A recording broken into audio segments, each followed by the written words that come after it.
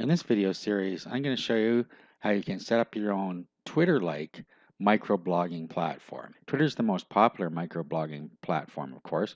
It attracts a wide range of people and businesses.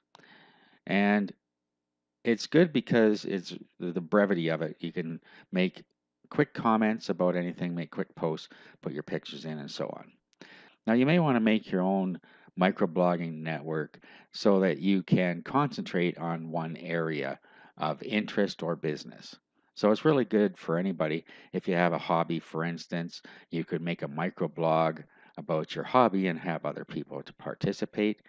If you are a business, you could set up a microblog just for your business, make it private, and then people within the business can communicate through the microblog and it's there for everybody to see. Okay, so in this video series, we're going to go through how you set that up for free. Of course, you're going to need web hosting and a domain name to put it on, but we're going to be using free tools other than that. Okay, so in the next video, we're going to start getting things set up.